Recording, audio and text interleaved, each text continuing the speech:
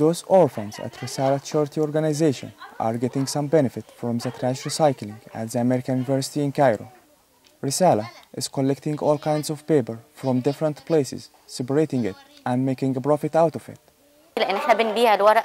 We're selling the paper to recycling factories and use the money to help in spending on the activities of the organization.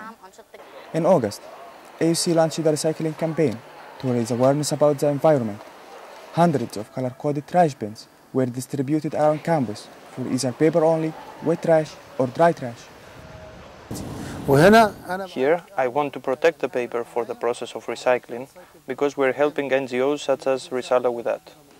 According to AUC officials, the rest of separated waste is then intended for different local NGOs to help with their development projects. This, however, is not what happens in reality. Aida Asham, a vendor selected by the municipality, gets about 7 tons of trash from AUC every day. This trash, which contains a lot of recyclable materials, is supposed to go to a governmental dump and from there to different NGOs.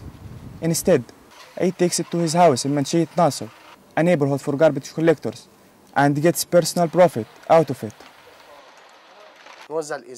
We separate the trash, the glass, the cans, the cartons. Dealers come here to buy it, and I take what is left to the dump. AUC officials consider this campaign as an extension of a recycling project that started four years ago. However, this new effort doesn't seem to be achieving the expected goals. Moataz Hadi, AUC TV, Cairo.